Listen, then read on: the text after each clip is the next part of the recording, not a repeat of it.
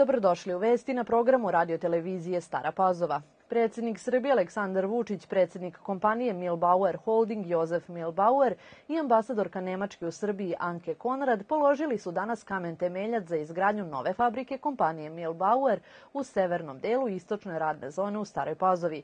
Predsednik Vučić je izjavio da je to veoma značajna investicija nemačkog tehnološkog giganta koji će razvijati u Srbiji novu tehnologiju koju nema niko u svetu.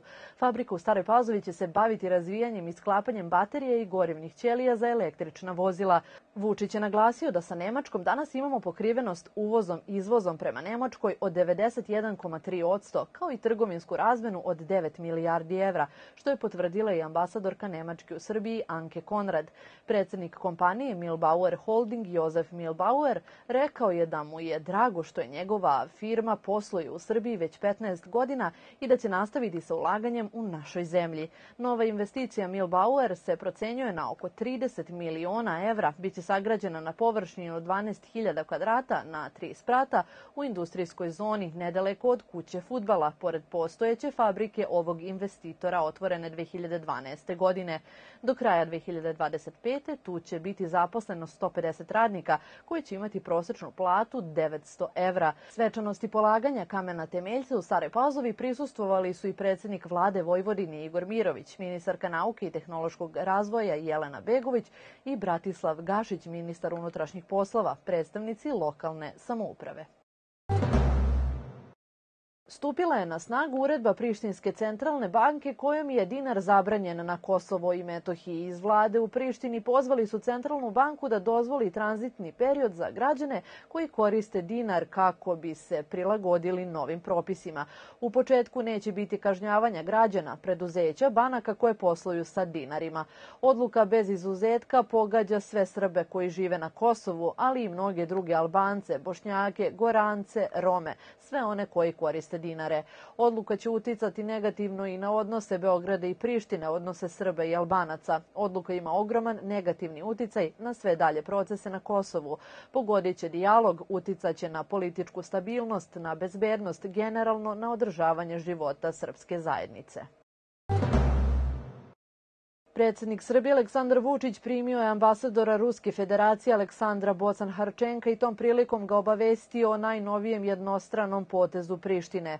Obavestio sam ambasadora Bocan Harčenka o najnovijem jednostranom potezu Prištine, jasno usmerenom protiv srpskog naroda na Kosovu i Metohiji, kao i o mogućim posledicama ovog neodgovornog akta Kurtijevog režima, napisao je Vučić na svom Instagram nalogu Budućnost Srbije AV.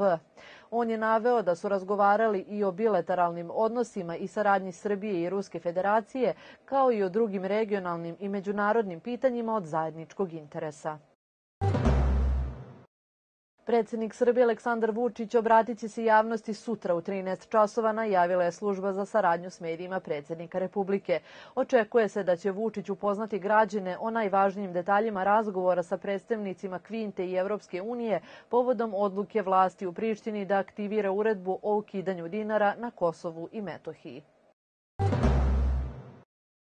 Pripadnici Ministarstva unutrašnjih poslova u Sremskoj Mitrovici prilikom kontrole saobraćaja otkrili su trojicu vozača koji su pod dejstvom alkohola učinili prekršaj nasilnička vožnja i petoricu vozača koji su upravljali automobilima pod uticajem opojnih droga. Policija u Staroj Pazovi je zaustavila 47-godišnjeg vozača Toyota sa 2,67 promila alkohola u organizmu i 55-godišnjaka koji je vozio BMW sa 2,19 promila alkohola alkohola. Saobraćena policija u Staroj Pazovi otkrila je 22-godišnjeg vozača Volkswagena pozitivnog na kanabis, 21-godišnjaka koji je vozio BMW pod dejstvom kokaina i marihuane i 47-godišnjaka koji je upravljao Citroenom pod uticajem marihuane. Nakon zadržavanja ovi vozači su privedeni nadležnim prekršajnim sudijama. Pre dve godine je Ministarstvo odbrane Republike Srbije ustanovilo plan i program vojnostručnog osposobljavanja rezervnih oficira roda avijacija. Ovogodišnji konkurs za buduće vojne pilote otvoren je od danas, dakle 1. februara do 31. marta, a mogu se prijaviti mladići i devojke koji su završili osnovne akademske studije sa prosečnom ocenom 7 ili iznad i koji do kraja ove godine ne navršavaju više od 27 godina. Svi zainteresovani kandidati koji se budu prijavili na konkurs prolaze selekciju koja se odvija u dve faze. U prvoj fazi je medicinska, psihološka i bezbednostna procena za one koji budu prošli početni inicijalni deo selekcije. Nakon toga sledi uzbudljiviji deo selekcije, a to su selektivno padobranska obuka kao i selektivno letenje na aerodromu Pukovnik Milenko Pavlović u Batajnici, rekao je za radio televiziju Stara Pazova Viktor Nedeljković, kapetan prve klase i instruktor. Javni poziv za postice u biljnoj proizvodnji po hektaru od 18.000 dinara biće raspisan danas, a poljoprivredni proizvođači će svoje zahteve moći da podnose do 1. marta, najavilo je Ministarstvo poljoprivrede.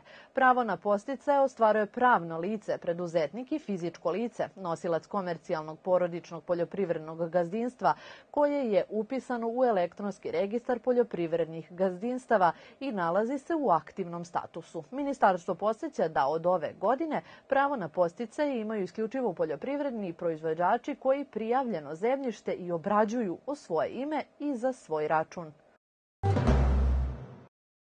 Prvi koncert klasične muzike u ovoj godini u organizaciji Centra za kulturu i magistra Ljubinka Lazića održan je sinoć u Staroj Pazovi. Kvartet majestresa kojim se staropazovčani prvi put upoznaju plod su dugogodišnjeg prijateljstva četiri profesorke iz muzičke škole Petar Krančević iz Sremske Mitrovice. To su Milda Kuzminac i magistar Dušanka Gavrilović na klaviru, Zorica Opačić na tamburi i Jelena Vlaović na flauti. Pred Staropazovčanima su izvele 12 dela što filmske i tango, što muzike domaćih autora, ali i prerađenu obradu kompozicije Divanje Kićen i Jaz, koju je uradila Zorica Opačić, što se publici posebno svidelo. Stigli smo i do vesti iz sporta. Rukometašice mladosti iz Nove Pazove odigraće sutra utakmicu 13. kola Super rukometne lige sa ekipom medicinara u Šapcu.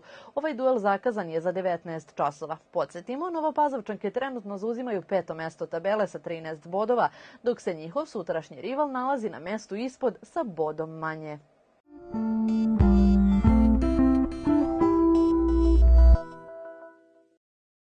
U petak umereno do pretežno obločno na severu suvu, u ostalim predelima ponegde kratkotrajna kiša. U planinskim predelima provejavanje slabog snega.